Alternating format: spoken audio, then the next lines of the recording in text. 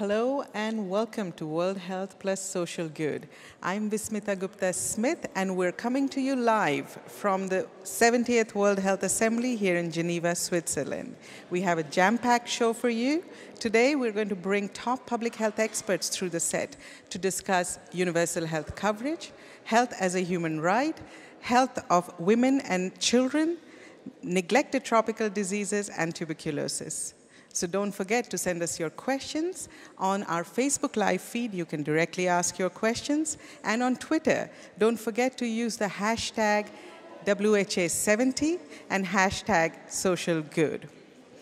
Now, you'll remember that Tuesday was a very significant day for the World Health Organizations. Member states chose the next Director General, Dr. Tedros Adhanom Ghebreyesus, was elected to lead the organization for the next five years.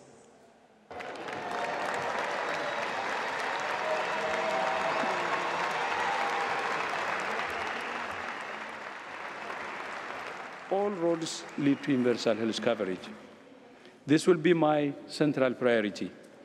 At present, only about half of the world's people have access to health care without impoverishment. This needs to improve dramatically. The path forward is really clear. The Sustainable Development Goals give WHO an opportunity to dramatically increase access to health care. I have also heard from you three clear messages about how WHO does its business. First, you want us to build effective partnerships. You want WHO to be a better partner, but at the same time, lead from front and center, because WHO is the undisputed leader of global health agenda.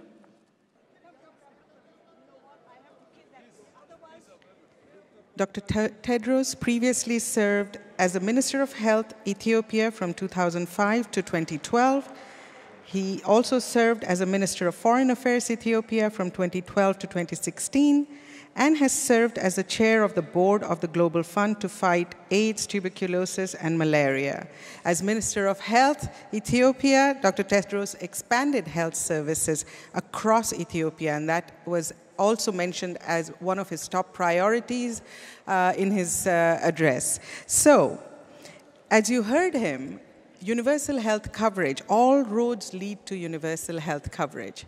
Now, we know that too many people almost over 400 million people do not have access to critical health services. In fact, 100 million people are pushed into poverty every year because of their health expenses. Universal health coverage provides access to safe, effective, affordable services without financial risk. But how easy is it to build a health system with universal health coverage? What are the challenges? And what do we need to what do we know works best?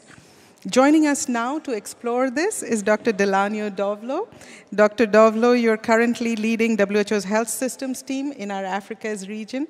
So please tell us about universal health coverage. How would you describe it to someone who has not experienced it? Well, um, I usually describe universal health coverage to people who want to know about it as having access to the most essential services that you need and having that access without obstacles, either cultural, social, or most importantly, financial, uh, to attaining those services. And if those essential services are not available, being able to be referred to a next level where you'll be able to attain those services. And that for me is universal health care. And let me also add that that includes not only the curative clinical services, but also health promotion, prevention, and taking care of the disabled uh, so that they have the best uh, possible well-being. So when you say most essential health services, describe to me what are the services that are included, that should be included? Uh, yes. Uh, that's an important question because uh, these essential services will differ depending on the context and the area or the community in which a person lives. And so that needs to be defined by uh, the health services uh, as what a person needs as essential. As I said earlier, what is important is first having the health promotion, the, the communication, the awareness, generating the demand for services, people knowing that this is the kind of service that's available and this is what I need. I think it's a primary service.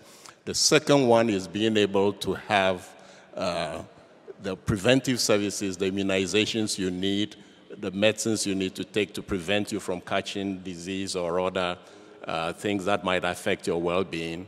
And thirdly, that when you do fall ill, and usually depending on the community, it could be infectious diseases, it could be non communicable diseases like uh, diabetes or other uh, ailments, but it could also be issues of mental health, uh, depression, and other things.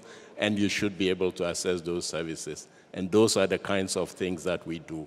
And we encourage countries to develop what they call the basic package of essential services that should be available to everybody. So, Dr. Dovlo, we hear a lot about resilient and strong health systems. What does a health system need to have to deliver universal health coverage as you have described? Yes. I often refer to strong or robust health systems as those that are able, have the, the workforce, the supplies, the processes available in order to deliver the essential services that people need. And, and that is critical. And that they have these without running into shortages or absence of staff or other things that would undermine the reliability of the service, and that they are responsive to the populations that need it. In terms of resilience, and that has come up a lot following the Ebola outbreak, that is more about that the services are continuous, even when um, they are challenged by events, by outbreaks, by natural disasters, by other uh, sudden events, that we are able to continue to deliver the most critical services so that people don't die of other things whilst we are trying to meet the challenges that have uh, uh, impacted on our services. And most countries should have a process and mechanisms for ensuring that service continuity continues. Now, Dr. Dovlo, equity has a big role uh, in universal health coverage. How uh, do, do we make our health systems equitable? I think that's uh, a critical part of universal health coverage because if a certain part of our population is unable to reach services, uh, one, it's just not the right, uh, we are not uh, meeting their human rights. And, and secondly, we are all not safe if parts of our population are more vulnerable to disease and other challenges than the rest of us are. And so it's critically important that everybody has these services. And in equity, we mean, again, coming back to what I said in the beginning, the essential services should be available for everybody, what mm. they need. And even for the non essential ones or things that we can defer, we should have means by which there is a way to finance the services so that everybody can have access to those services, are aware of what gives them good health, and helps them to be able to live the best life possible that they have. And particularly in countries where there are inaccessible areas or issues of gender or other things create certain vulnerable groups that we are unable to meet, then we need to make special effort to ensure that people who are marginalized or otherwise get to these services. Dr. Dovlo, I want to take some questions from our audience. Uh, Pinky Patel from UN Foundation is tracking audience questions on Facebook and Twitter. Pinky? Thank you, Vismita. We do have a lot of questions coming in. We have a question from Suraksha from Nepal, who would like to know to what extent have universal health coverage goals been met worldwide? And along with that question is another question from someone in Sudan who is asking about universal health coverage policies in countries in Africa that have been successful and what policies have helped shape those. Very good and important questions, I think. I think on the first part uh, is the issue of um, uh, uh, how we get to uh, uh, universal access. I think what is critical is uh, you need to invest in the distribution of infrastructure, in the distribution of processes, ensuring that geographical uh, access is there as a way of ensuring that people do not have major challenges when trying to get to these services. In Africa, what we've tried to do is to look at it in a number of dimensions. One, of course, is the financial dimension. I think at the beginning of this program, the out of pocket and catastrophic expenditure was mentioned. Currently, uh, I think the average in our region is about 50% uh, of, uh, of health, total health expenditure comes out of pocket, which is completely um, uh, unreasonable. And so our target is that no more than 20% of, of health expenditure should be the out of pocket. That tells us that we are approaching universal health coverage. Now, about 50% of the 47 countries in our region are at around 20% out of pocket. So we are making progress. But even for the 20% out of pocket, we think that is not good enough and will eventually uh, move forward. Where these things have worked, um, uh, to give a couple of examples, there's Ghana, which has uh, a national health insurance scheme uh, that allows the population to prepay and so have a certain access to services. In Rwanda, for example, what they've done is uh, the community-based insurance scheme uh, allows uh, the government to make sure the most poor and vulnerable identified in communities have free access to their services, for example, and that encourages uh, universal access and enhances equity uh, through well-being. Thank you very much, Dr. Dovlo, for joining us today. Now, we had an official technical briefing on universal health coverage today, just to give you an idea of how important this topic is for WHO and partners. Uh, it's about health as a human as human rights, um, as a human right, and to describe what that means exactly, I have our next guest, Rajat Khosla head of the Secretariat for High Level Working Group on Health and Human Rights of Women, Children, and Adolescents, and Dhakshitha Wikremarathne, member Every Women, Every Child's Independent Accountability Panel, and a woman, Women Delivers Young Leader from Sri Lanka. Welcome, gentlemen. Rajat, let me start with you. Could you please describe to me what does that mean, health as a human right? Thank you. The Constitution of World Health Organization starts by describing the enjoyment of the highest attainable standard of health as a fundamental right of all human beings. What this means is that healthcare services, goods and facilities, social determinants of health that are needed by the population are available. What is available must be accessible by all. As a new DG elect has uh, said as of this morning, health is a human right and everybody should be able to enjoy that right and nobody should die because of their inability to pay or because of living in poverty. So what health as a human rights require that healthcare services should be accessible by all, irrespective of their income capacity, irrespective of where they live, what ethnicity or gender they belong to. And what it also requires is to ensure that there is quality of services that are available. At the heart of health as a human right lie addressing inequalities and inequities that impair access to healthcare services by populations across the world.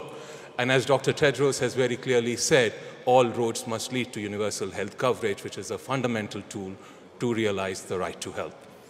Rajat, let's, let's start with maternal deaths. When we talk about a rights based approach, what does that mean? Every year, it is estimated something around 300,000 women die in childbirth. All these deaths are preventable. If you look at the numbers, it's very clear the majority of these deaths happen in low and middle income countries. Maternal death, a death of a woman in childbirth, is one of the most stark manifestations of discrimination against women. What rights-based approach to health requires when we look at issues such as maternal or child mortality is to look at the lived realities, is to look at the persons behind these mortality figures. is to look at not only the biomedical causes that result in these deaths, but issues such as discrimination, social and gender norms, and other realities that impair women's access to essential healthcare services. So sounds like gender inequality plays a big role in this, doesn't it? It definitely does play a very important role in this regard. Gender inequality and healthcare, maternal health in particular, have a very intrinsic relationship with each other. These are manifested in different societies around the world in different manner. Child early and forced marriage, female genital mutilation, large numbers of unintended pregnancies are all examples of gender inequality and its impacts on women's health. What it requires is for us to address masculinities and gender stereotypes and ensure that harmful gender norms do not inhibit women's access to life-saving care. Rajat, paint me a picture. Uh, describe to me what are the challenges to health as a human right on the ground? I think the challenges are several, but if I was to encapsulate three fundamental challenges, for me, the first one is that health is still not recognized as a fundamental right. In countries around the world, health is looked at it as an aspirational value, not as a fundamental right of population. I think the second big challenge that we have is issues in terms of enabling environments which do not exist in many countries, unfortunately. Legal structures, legal recognition of a health as a human right does not exist in several countries around the world. That is just the fundamental basic that my health, our health, should be recognized as a fundamental human right, but that is not the case in several countries around the world. The final thing is that the budgetary allocation to healthcare remains abysmal around the world we are confronted with the challenge that whereas the international norms and standards require governments to appropriate uh, at least uh, uh, maximum available resources to healthcare, the allocation, because of competing priorities and other constraints, tend to be very minimal to health.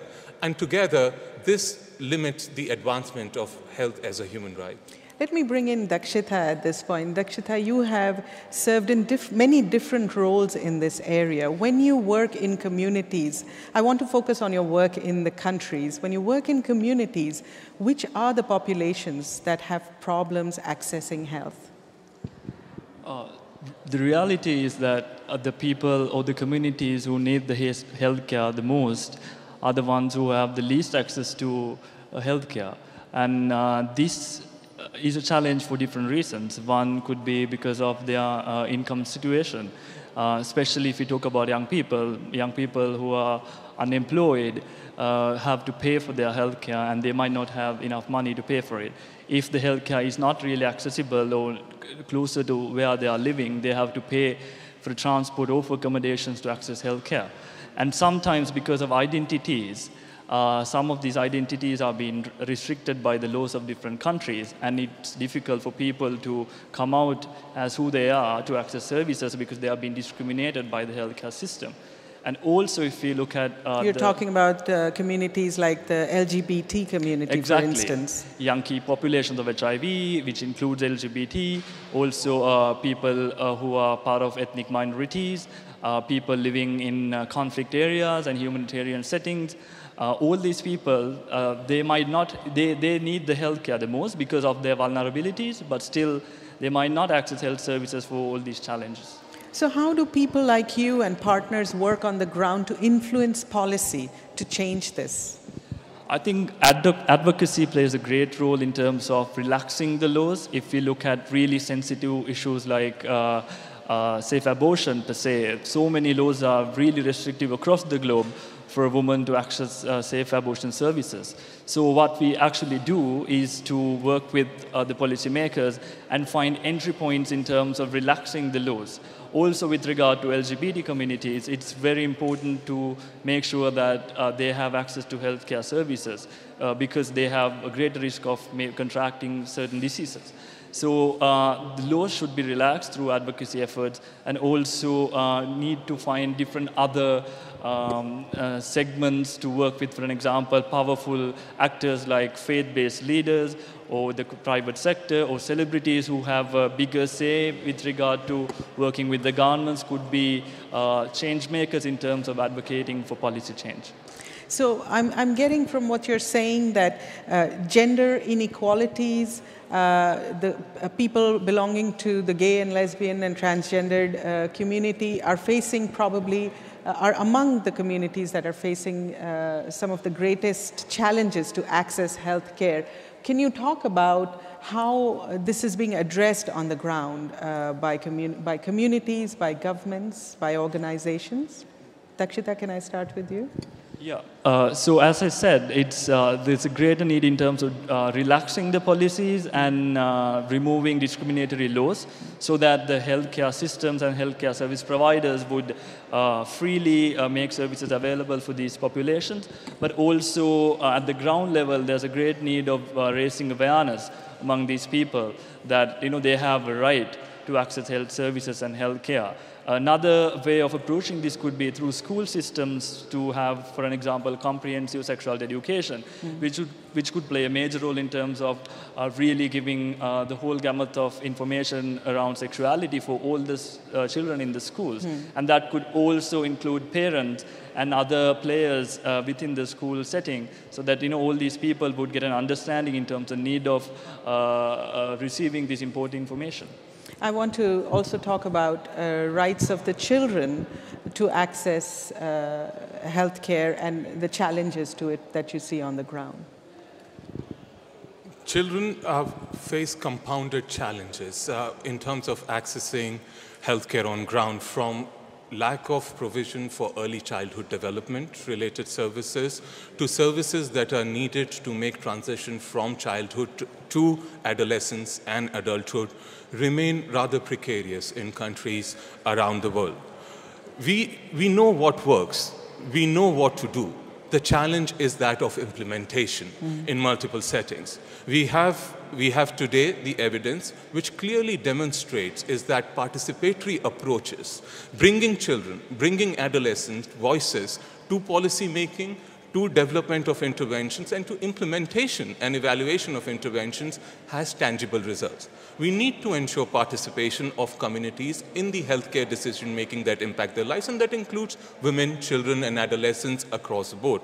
We also need to ensure accountability that should be fundamental to everything that we do and ensuring that we have transparency in the way interventions are being developed, but also ensuring that we are working proactively to remove stigma and discrimination that often precludes access of population and especially vulnerable groups such as children and adolescents around the world in multiple forms. Well, thank you very much, gentlemen, for making thank the time to join us today. You just heard Rajat and Dhakshitha describe the challenges that women and children face um, in, in accessing health care. While they continue to lead uh, and work in this area to provide this access, we have actually seen that progress has been made in a different way in the area of health of women and children. On Tuesday, we discussed that more children are making it to their fifth birthday than ever before. In 1990, 12.7 million children died before their fifth birthday. In 2015, it's just under 6 million, a drop of 53%. It's, it is still too many children dying, but it reflects some major changes in the health of children. We have seen some very significant progress in this area, uh, in other areas like maternal and adolescent health. To discuss this with me, I have here with me Katja Iversen, President and CEO of Women Deliver. Uh, welcome, Katja. Thank you very much. So, we seem to have made a lot of progress in. Uh, in preventing child deaths before their fifth birthday. We're now also looking at adolescent health and their needs. Describe to me what these needs are and what are the challenges to these adolescents. It's so good that focus is now also on adolescents, a forgotten group for the longest time. Imagine being, you know, a young girl, a young woman. One of the leading causes of death is dying in childbirth or from pregnancy-related uh, complications. So, you know, taking the prime of their life uh, and dying in what should have been the most beautiful moment. That's a reality today. One of the leading causes is dying in childbirth, and it happens because they are too poor, They, it's not voluntary sex, it's not by choice. They don't have access to, for example, family planning. Uh, they live into rural, too far away from, um, from, from uh, healthcare. So that's a reality on the ground right now. But the reality is also, and it's been so wonderful to see this this week, that there's such a much bigger focus on it. We saw it, we'd seen it this week, we saw it last week in Canada, where we had the first ever conference on adolescent health, global conference. And we see it in the global strategy for now women's, children, and adolescents' health. That's a roadmap for how we can improve things. So things are in place to really ramp it up. We have also seen uh, a big uh, framework that's come out. It's called the AHA framework, Accelerate Adolescents Health uh, framework. And we see it in a toolkit that's come out uh, for adolescents' health improving advocacy because we need to talk about the issues. It doesn't happen just by knowing we have a problem, and we have developed, Women Deliver has developed a toolkit together with uh, PMNCH, the Partnership for Maternal Newborn Child Health, by young people, for young people, to really take this forward.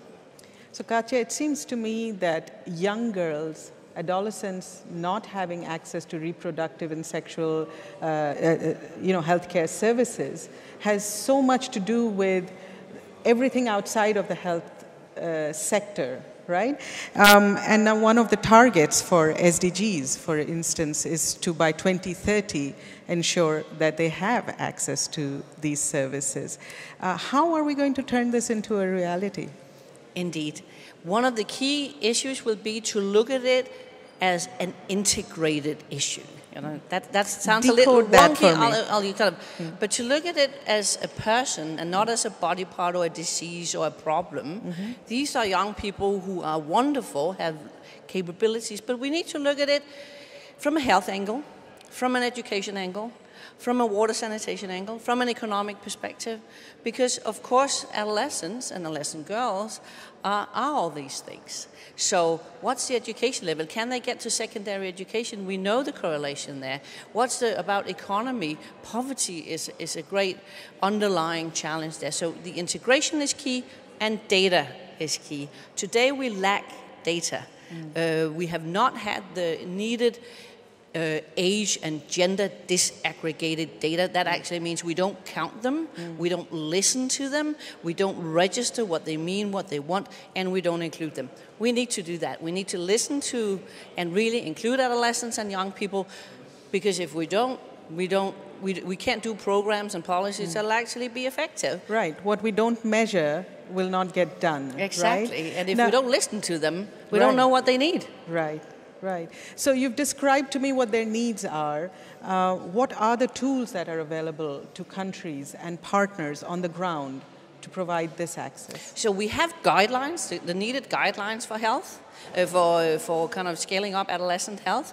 We have the global strategy that kind of has, it's a roadmap, it also has details what needs to happen. It's been wonderful to see how the global strategy has embraced both the full sexual and reproductive health and rights of young people, of adolescents, but also the integration, the education, the nutrition, the, the other aspects. So that's really good.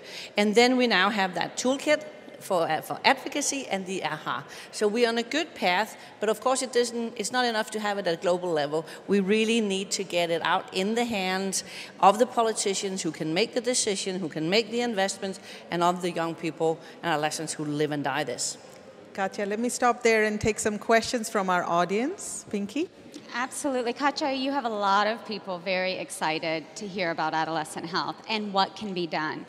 I'm hearing questions about can you speak to some of the ways that we can actually reach and engage adolescents around some of these health issues? And a tag along question from Miriam in Somalia about how we can ensure that adolescents have access to the knowledge, resources, and tools to make decisions in their best interests. Yes. Um, let me just kind of address the how can they be engaged and how can we, we listen. Well, in Women Deliver, we have a young leaders program. We uh, have now 400 young leaders in, uh, from, in more than 100 countries who we we, we work with on training in advocacy, on being able to stand on the big speeches. You've heard some of them here today, Dashkita, others.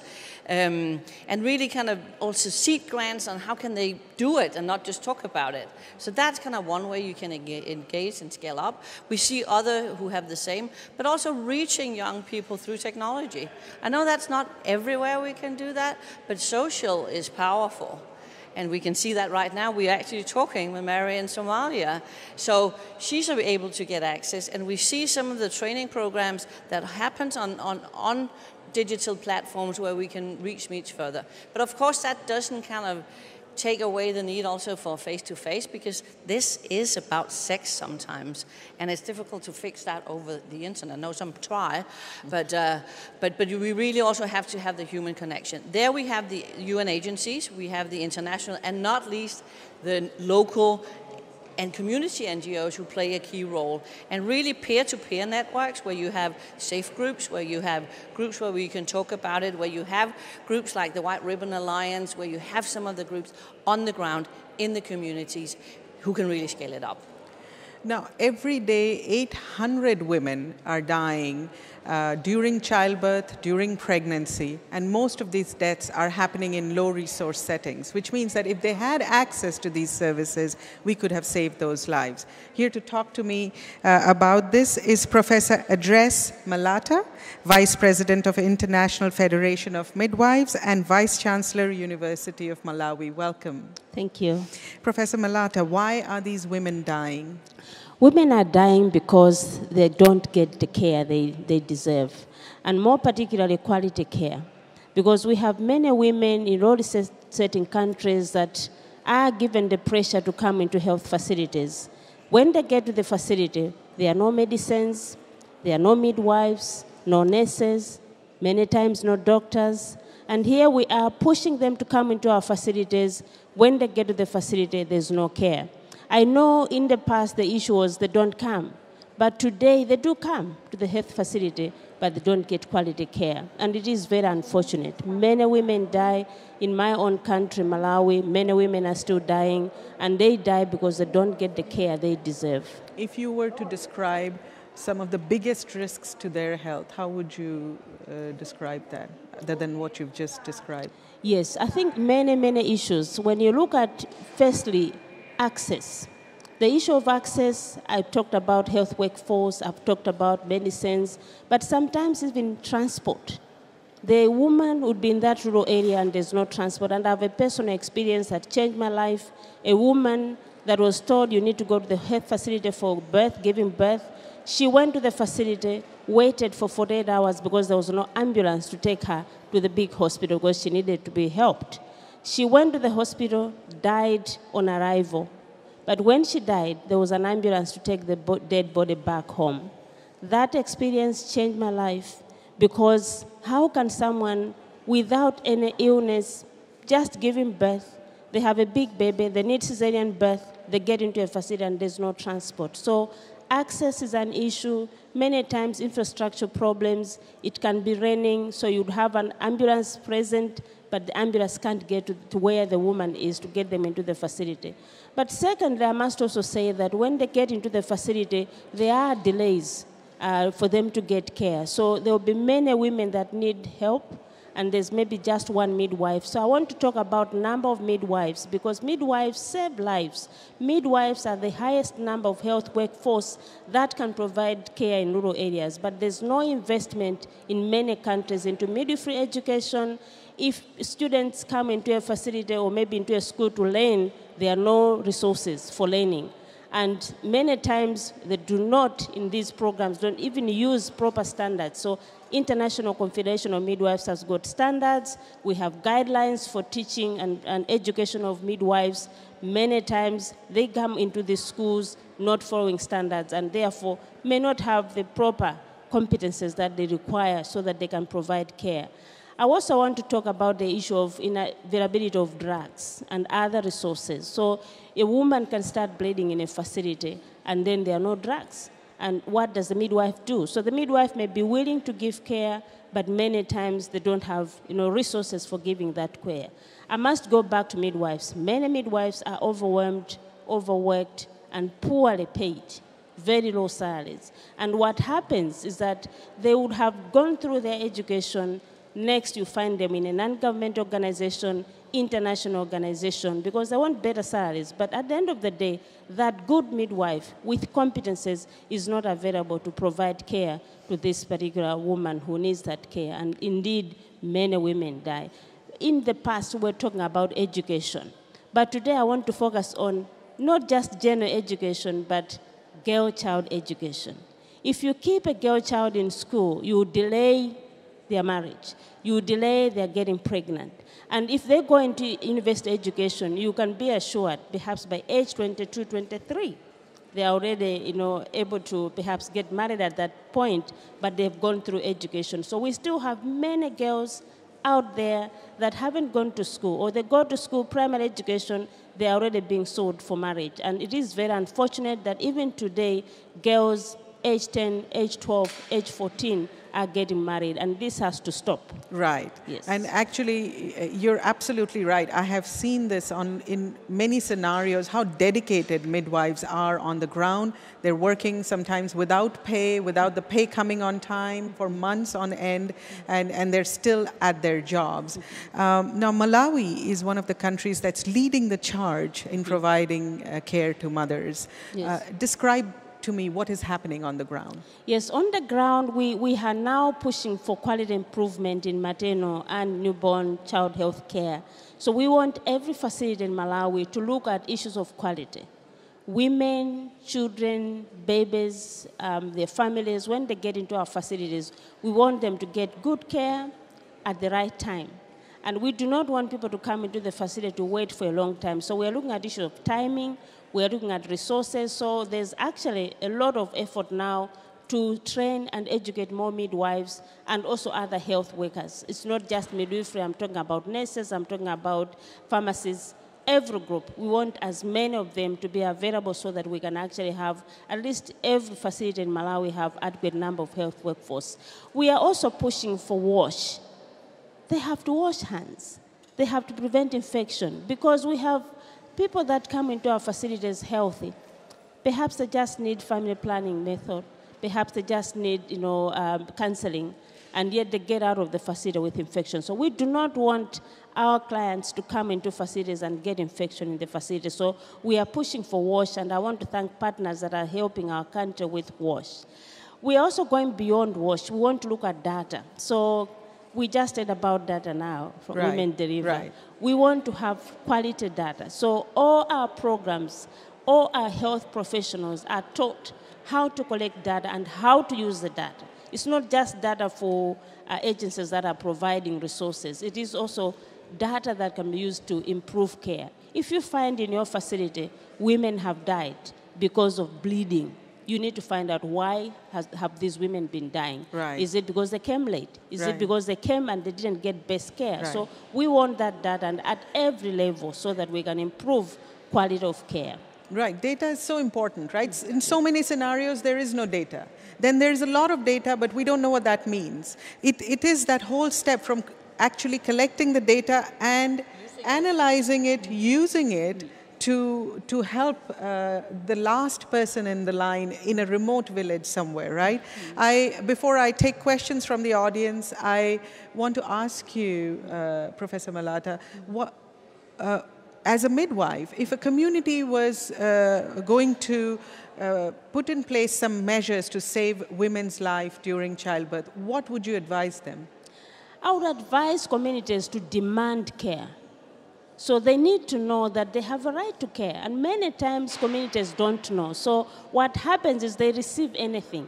So demand is important. They need to say, we demand quality care in this community. So the leaders in the community, traditional leaders, religious leaders, and you know, we have even elderly people that don't necessarily have a position but influence the community, should know what they deserve. To me, I think we normally take it for granted they shouldn't know, but if they know what they deserve, they can demand that care. And secondly, they also need to make sure that there's leadership within their own communities. Who is responsible for that? Nobody should lead for them. I believe, particularly for maternal health issues, for women's issues, that women themselves should be on the table. Right. I've been promoting at every level we should have women speak on their own behalf rather than another group speaking for them. Speak And- on their own behalf on many levels, on right? many In their communities, Yes. as policymakers, Yes, to every level, right? even here Women, at young WHO. people, adolescents. Yes, Right, yes. right. Get them on board, Right. get them on the table, and let them speak. They should speak for themselves and demand what they need to get. But also, I think they can take their governments to task right. because governments have to provide that care. And certainly they have to be responsible. There has to be accountability, we all know. But at the end of the day, if you really look at a rural community, the issue of, issues of accountability, in my culture, they're already built in what we call umunthu. So people know they have to be responsible. But at the end of the day, they should ask their governments to give them what they deserve. And it's not only for Malawi, but every country in the world. Let me take an audience question now, Pinky. There are a lot of excited people about this topic. So I'm going to go with Ando Robellison's question about in addition to ensuring quality of care, access to care, and availability of medicines, we need to ensure that women are provided care in a respectful manner, which doesn't always happen. So, how would you speak to improving respectful maternal care to ensure that women do feel safe and comfortable going to healthcare facilities? Yes, a very important question, and I'm excited because in many countries now, when you look through media, there are always complaints. This midwife said this, this doctor said that, and they did this to me. I think people knowing what they deserve and what their right is is the number one issue. And, and if someone is rude, they should be able to tell that health worker, I cannot take this. But they can only do that if you give them information. So we do not give information to our communities to tell them it is not right. I believe I've taught midwifery for 25 years. I tell my students if they are tired, they can tell the clients, I am tired. I need a small break and they don't have to force themselves to work. But many times, when you sit in a health facility, you can actually see that this particular woman or this particular health worker is a hardworking person. Many times, our clients will not complain if you don't give them medicine. If you say good morning, the greeting only is very powerful. A little smile is very powerful. So if you're not able to give medicines to everyone, but you are able to greet them and show them empathy that you're a smiling nurse, a smiling doctor, a smiling midwife, it makes a whole difference. Now, my emphasis is schools of nursing or schools of medicine should emphasize on respectful care.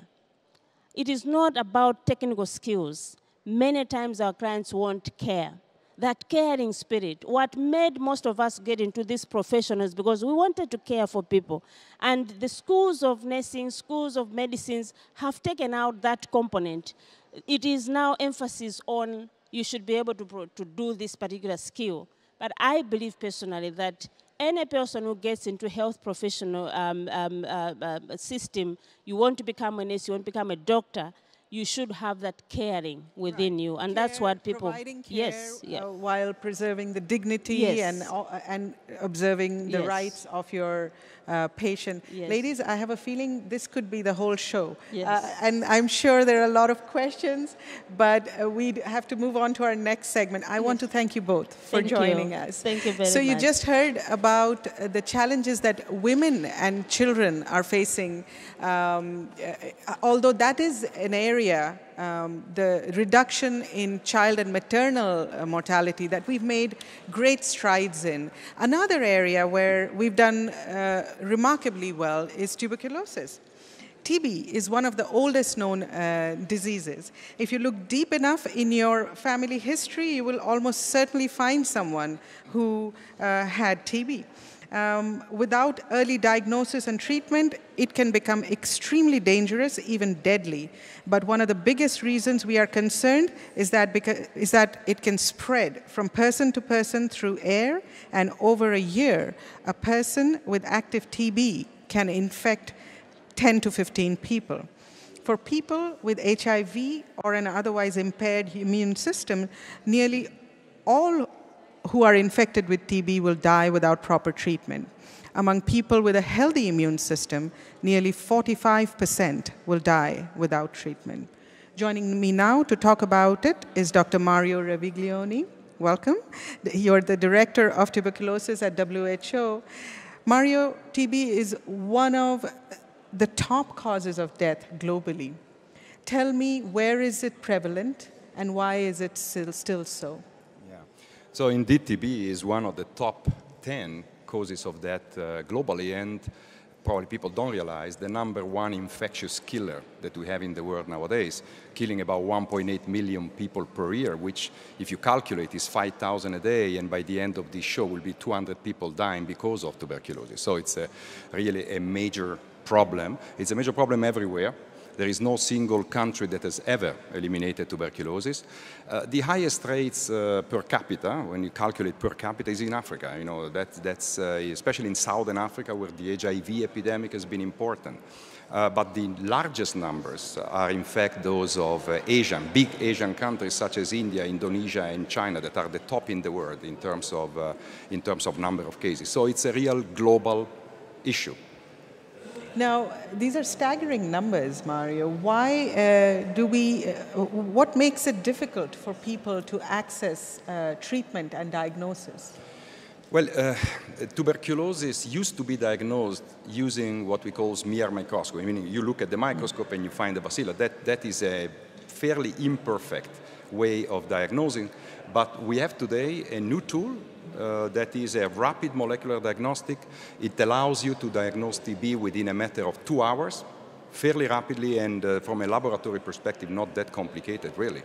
And so uh, the issue here is that of having this type of tools available everywhere they're needed, which is where, uh, unfortunately, um, the problem is. So access now is guaranteed in several countries, but is not uh, all over the place, which is what we are advocating for. And once you get diagnosed, then the problem, the next problem is that of treatment. So tuberculosis gets treated in six months. It's not a pneumonia that you can treat within 10 days. Here you have to treat for six months, and if you have those drug-resistant form of tuberculosis, then you're talking about up to two years. Although now we have a nine-month regimen that we recommend as WHO, which has not yet been widely used. So we are always there. It's an issue of access and of goodwill by governments to put it in place. So Mario, uh, countries and WHO and partners are, uh, are working on these staggering numbers of TB. And now we also hear about drug-resistant TB. How serious is this problem and how are we addressing this? Uh, th that is a real major concern because it's basically for some patients, we are talking 500,000 to 600,000 every year. For them, it's like being in the pre-antibiotic era. So we are in a situation where we don't have drugs that can be used properly for some of these highly resistant forms of tuberculosis. And the number is huge and the number will be growing unless certain measures are put in place. And so what we have been saying to the world is essentially put surveillance system in place, have laboratories that can diagnose rapidly, have treatment in place because these are second line, as we call them, reserve drugs that are more difficult to, to, to buy and uh, difficult to use, they're more toxic. Um, have the rational use of these drugs um, implement infection control measures in hospitals so that you prevent the transmission and do research because we need much better diagnostics than we have today and much better drugs that we have today. Now, TB has been described as a disease of poverty. Um, tell me today, where is it prevalent? Who are the people who are at most risk? Um, there are vulnerable populations to TB, mm. as you rightly said. So uh, the number one factor here is poverty. That is the common denominator. Mm. And so you can look around and see what the uh, determinants of tuberculosis are, and then you go for this poverty, people living in slums, you know, the slum dwellers, uh, people who are malnourished. Uh, but also some other that have uh, medical conditions, like being infected with HIV, very high risk of getting tuberculosis, um, you know, having, uh, um, having other diseases that require the use of steroids or uh, conditions like that really provoke the disease. In addition, we now know fairly well that uh, diseases like diabetes, like uh, smoking, uh, is not a disease, it's a condition, mm-hmm. alcohol abuse, etc., are all factors that determine tuberculosis. So we have to really focus down on these highly vulnerable populations. Now, the next 18 months are going to be very significant for uh, your work. Describe to me what is going on uh, globally. Uh, we, we, are going to live in a biennium that is unprecedented in political terms for tuberculosis. So in essence, this is the result of neglect, political neglect, I would say, for, for many, many years. Finally, this year, the Russian government, as we will probably hear in a second, the Russian government has decided to hold a uh, major we call it the first global ministerial level conference on tuberculosis in Moscow on 16, 17 November of this year. So we are expecting declarations that will be really uh, to the point and with deliverables that can be concretely put in place. But uh, more importantly, even next year, all of these will be then taken to the UN General Assembly. TB will be the fifth condition, disease that is going to the UN General Assembly, which tells you something. That means that people are now realizing that we have to do something for this number one killer, infectious killer in the world. Now, I want to talk in a minute about what all of that will mean. Uh, but let me take a question from the audience. Pinky? Yeah, so we're, at, we're hearing a lot of people asking about why the rates of TB are so high and why TB doesn't get more of the funding and political support that it needs. But these are actually, this is the background for this conference in Moscow and for next year UN General Assembly. We realized that from a technical perspective, yes, we don't have the perfect tools, but we could actually do much better than we do if just governments invested, if the private sector invested in research, and so on and so forth. So having now the possibility of raising the issue at that level will be the, uh, I think, the, the real factor that will accelerate the effort. So at this point, I want to bring in uh, Dr. Teresa Kasaeva, Deputy Minister of Medical Care in the Ministry of Health Care of the Russian Federation. Welcome. Tell me what is the burden of uh, TB in Russia and uh, what are the major ways in which the disease spreads there? First of all, using the opportunity of your invitation, uh, let me congratulate and congratulations to the new Director General, Honorable Dr. Tedros Adhanom Ghebreyesus.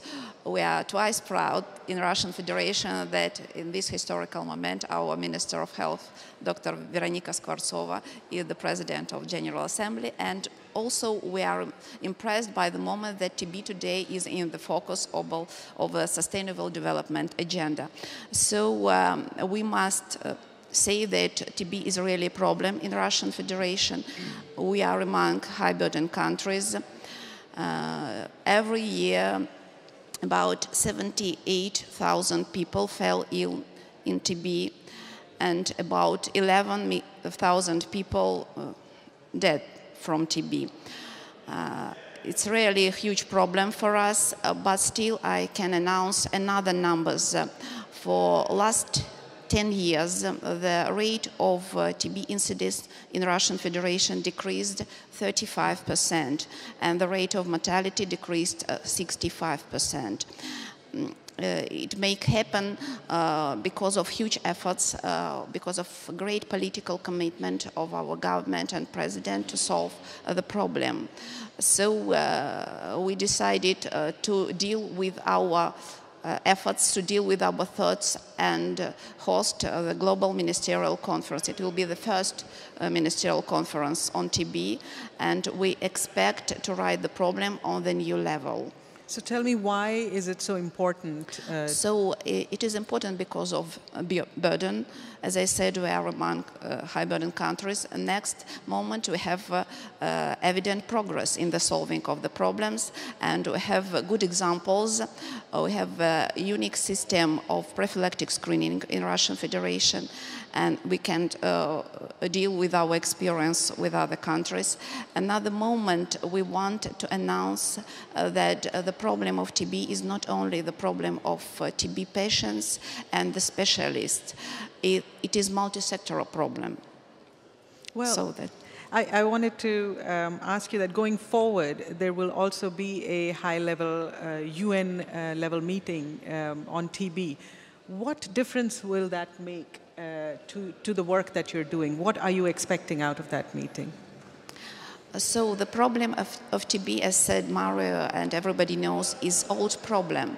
Huge efforts of uh, the specialists, uh, uh, millions of deaths, but in spite of it, we are too far from the uh, these targets that was announced uh, by the Sustainable Development Goals. So we need to accelerate our efforts and to look to the problem from the another angle.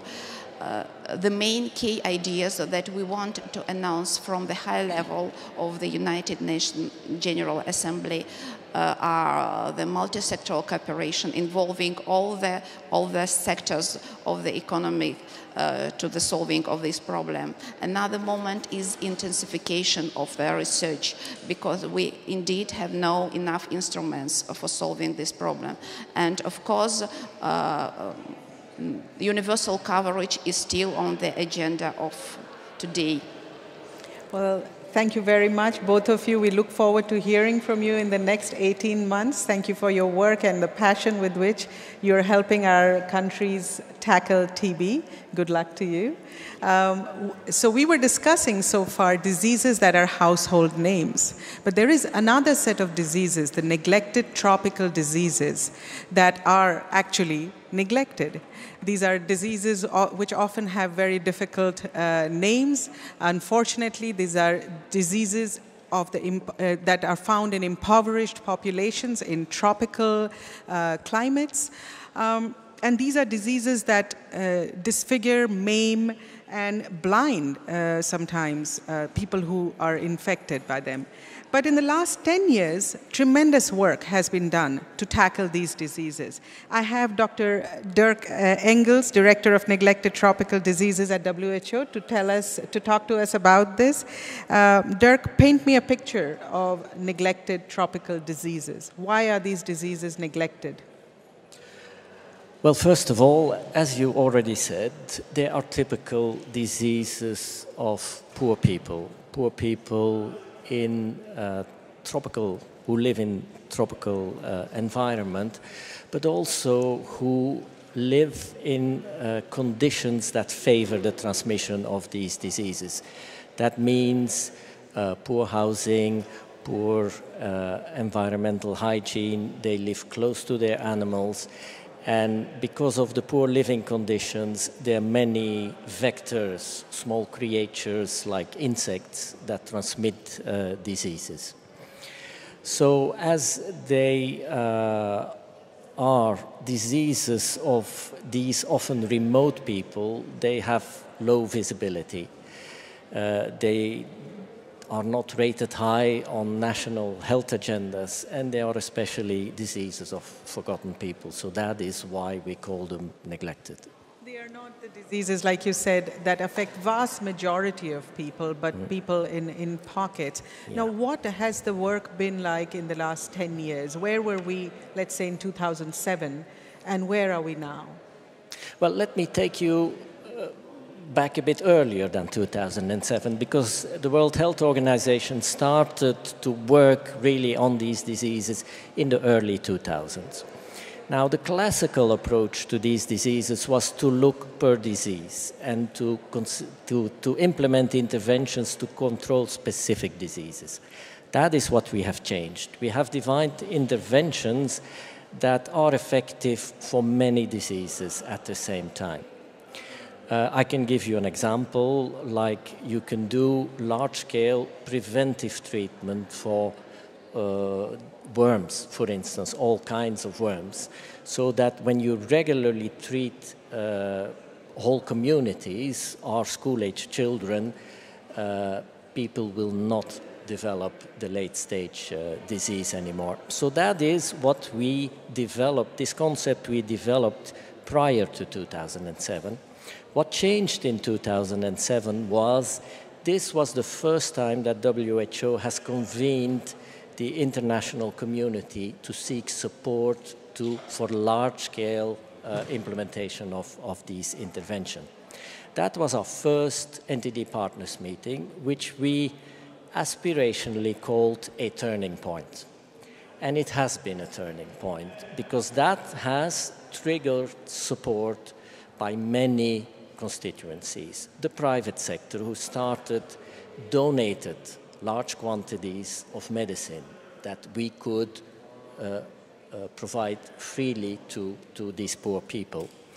Uh, some funding started to come, and then mainly uh, many development partners that were working on one disease or another have rallied to uh, jointly implement with us these, uh, these integrated uh, interventions.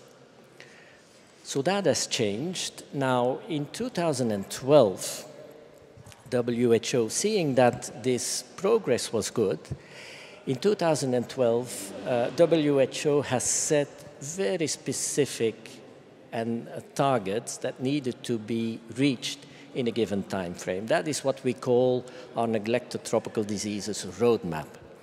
And then the different development partners have decided to rally around what we call the London Declaration. That is a declaration that they all signed in London, committing themselves to supporting WHO to accelerate the implementation for these neglected tropical diseases. And that has been really a game changer in the scaling up of interventions for NTDs. To an extent that we, a month ago, we, we celebrated the uh, five-year anniversary of the NTD roadmap and the London Declaration. And there we could proudly announce that today we are reaching, we are reaching 1 billion of poor people with NTD interventions. So Dirk, uh, give us some examples of these diseases, how they are spread, and what role vector control plays in controlling them. Right. Well, let me then focus on the uh, vector-borne diseases. And when I say vectors, I mean, I mean mainly insects and actually mainly mosquitoes. So um, one type of vector, like mosquitoes, can transmit many diseases. And if I have to uh, mention a few, you all know malaria, for instance, but you all have heard in recent years about dengue, chikungunya, Zika virus. All these are diseases that are transmitted by uh, mosquitoes, not always the same mosquitoes, but there are some over, uh, overlappings. Now, why is uh, vector control uh, so important? Because what we've seen in the last few years is that we have been running from one epidemic to the other. And the emphasis was mainly on, rightly so, on trying to respond to the epidemics. But what we've also seen is that over the year there have been more and more and more frequent epidemics. So it is high time that we do something more preventive and more fundamentally preventive, and that we try to contain and, and limit the spread of vectors rather than looking at diseases. And that is exactly the, the, the aim of uh, the discussion that is going to take place towards the end of this week in, in the World Health Assembly. So what we're trying to do is as we did in general for the neglected tropical diseases, define interventions that are effective for a range of vectors. And that goes from very specific interventions like the, the, the judicious use of pesticide to really environmental improvements. For instance, you can improve your house to make it mosquito proof. Uh, urbanization is, is, is a big element in here. I mean, municipalities can um, through urbanization, limit the spread and, and, and the increase of these uh, mosquitoes. That's a really important point. I want to bring in our next guest at this point to take this conversation further. Dr. Ciro Ugarte, welcome. Dr. Ugarte is the Director of Emergencies in WHO's Americas region. Uh, as uh, Dirk just mentioned, that uh, Zika virus is one of the uh, is, is uh, one of the diseases and mosquito seems to be the perfect vector. It, it, tell me about the current situation of Zika in your uh, region. Zika, yes, has been affected the region of the Americas for more than a year now. But fortunately, since November last year, the number of cases have been decreasing in all the entire region. But now we don't have new territories or countries with Zika transmission, local transmission, but uh, we do have 46 of them already being affected by Zika.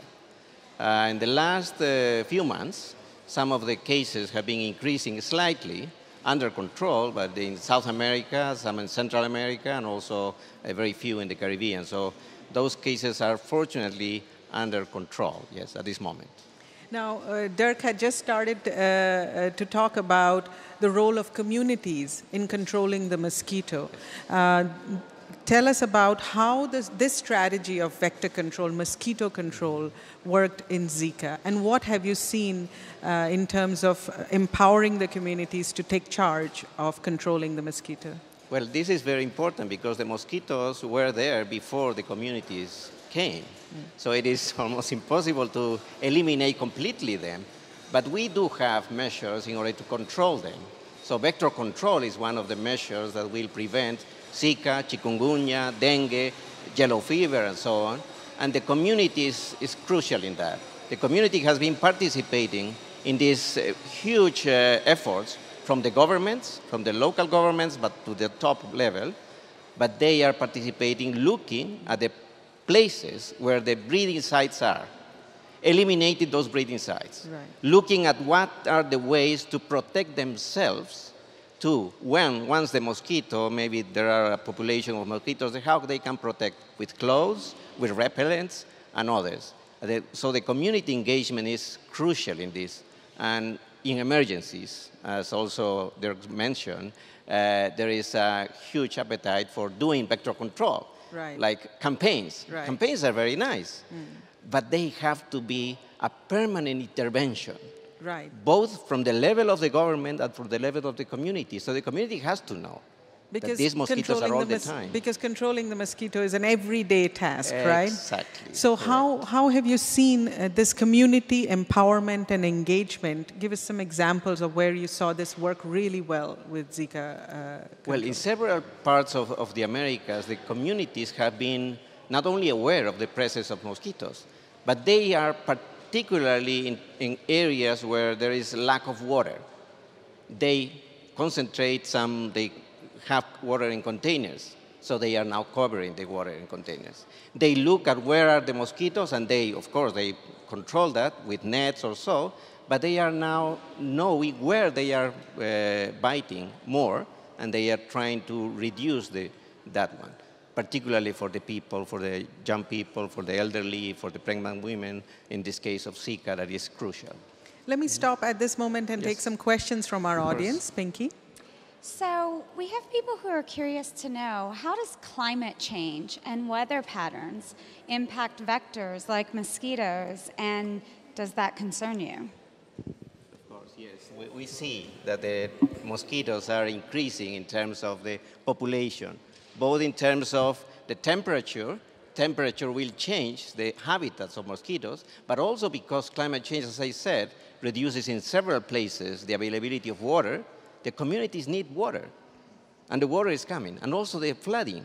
The flooding will expand the places where the mosquito may, breed. That's why in the emergency teams, the, the teams that are going to control also are composed by vector control teams because they want to also to see what is the new environment in order to control them. Well, thank you very much, gentlemen. Yes. Pinky. Uh, I'm afraid we've run out of time, but we have one more show tomorrow, and tomorrow we will talk about emergencies, about climate change, air pollution, antimicrobial resistance, and non-communicable diseases. So until tomorrow then, bye-bye.